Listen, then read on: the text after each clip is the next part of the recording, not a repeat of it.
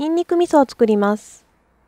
ニンニク一房は皮付きのままラップに包み、耐熱皿に乗せ、500ワットのレンジで1分加熱します。少し冷ましてから皮を剥きます。皮を剥いたニンニク、唐辛子1本、砂糖 45g、酒大さじ2、みりん大さじ2、合わせ味噌 150g を入れ、35回ほどブンブン引っ張ります。フライパンにブンブンした具材を入れ、弱火で5分ほど煮詰めたら完成です。